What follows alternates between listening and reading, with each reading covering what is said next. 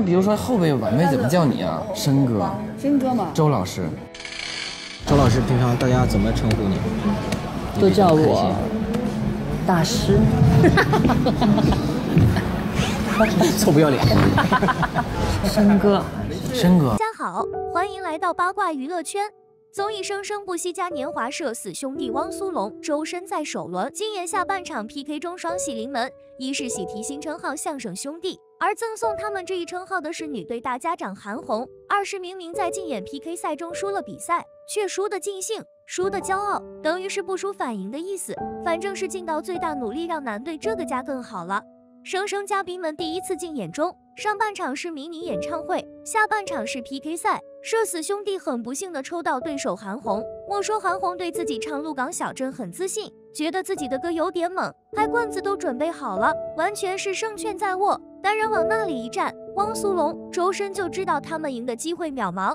这岌岌可危的俩小儿出门看到自己对手竟是韩红后，除了忐忑还是忐忑，心里可能想住咋是跟红姐 PK，而韩红的心情则跟他们相反，看到对手是他俩后更自信了，说还跟我对决，那气场让社死兄弟连说不敢。我们对什么决？我们是跟姐学习。男队其他人看到社恐两巨头对上女队大家长，见他俩在那里尬，也替社恐二人组捏把汗，忙让另一社恐成员宋亚轩去送杯子。宋亚轩还真去问两个社恐哥哥要不要送杯子给他们洗，但韩红看了一眼，问他是否要加入后，就赶紧退回了。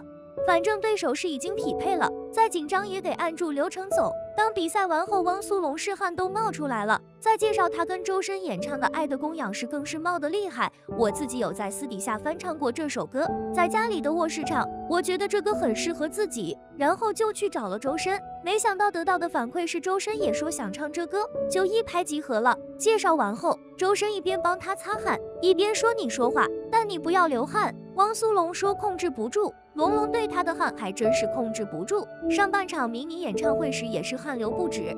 这哥俩老是一唱一和的，让韩红感慨这俩在一块儿就是相声。是呢，这俩在一块儿还真是相声。比如比赛前在后采时，他们表示彼此认识很久，但没有一起合作过。大家都想唱《爱的供养》，因为两人都是 OST 大户。说到 OST，周深就说自己爱追剧，汪苏泷就调侃他：“你自己看剧，说这首歌是我唱的，不会这么傻的我。我特别喜欢你的影视原声带。”再比如，比赛完后，何炅提到差不多同一时期大火的《步步惊心》《宫锁心玉》《回家的诱惑》的主题曲时，周深立马来了个《回家的诱惑》主题曲《无法原谅》，不知道是想把观众带回到《回家的诱惑》剧情。还是想把观众带回到乘风二零二三秋瓷炫唱无法原谅现场，这份唱起歌来的情不自禁让何炅有点无奈了。我们唱的不是爱的供养吗？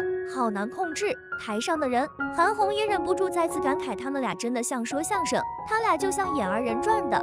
让何炅更难控制的是，在韩红评价汪苏泷、周深版《爱的供养》时。何炅问韩红怎么评价汪苏二人今天的演唱，韩红说自己是第一次听《爱的供养》，然后彼此而言他，我跟龙龙比较熟，知道他是一个很有才华的孩子，他唱节奏布鲁斯唱得很好，我没有听过他唱这一类的歌，我也是通过这次才发现，其实龙龙不光会写，唱得还真不错。然后申哥就是周深一听韩红叫自己哥是万万不敢当，刚才叫汪苏泷龙龙，咋到自己就变歌了呢？何炅也表示不解，怎么红姐管谁都叫哥？但没等韩红解释，周深就自己先跑了。何炅赶紧抱住周深才不跑。韩红继续解释说，深哥是他们女队给他起的名，女队都管周深叫深哥。我觉得他特别出其不意，因为他是一个具有很特殊的声带的假声男高音。红姐还举例拥有这种特殊声带的知名歌手，比如俄罗斯歌手维塔斯，比如歌手里面的迪玛希。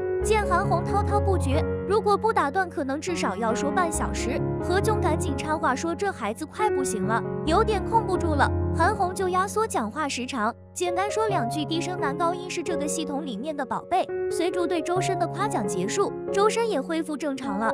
既然红姐点评完了，接下来肯定得让社恐两巨头反过来点评韩红演唱呀。但两人对老歌《鹿港小镇》好像也不是十分了解，更关键的是不敢在唱这歌的前辈面前班门弄斧，也不敢学韩红不评价歌曲而评价演唱者才华。作为晚辈哪敢对长辈妄加评论？于是双双选择放弃评价。何炅只能说杯子上，杯子上来，他们需要洗杯子。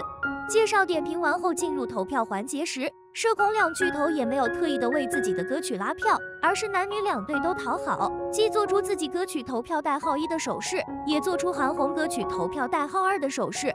本来大家以为要丢七分，得知只丢一分都很高兴。孙楠更是说那等于我们没丢分，大家还夸这俩人厉害。你们两个，你们两个怎么这么聪明？见队友那么高兴，女队那边赢了肯定也高兴。汪苏泷、周深是一副输的尽兴，我们输，我们骄傲的状态就跟赢了差不多。相声兄弟只要一起，真的很有喜剧效果。不知道他们接下来的舞台还有没有合作机会？今天的视频就到这里了。喜欢的点赞、留言、加关注，我们下期再见。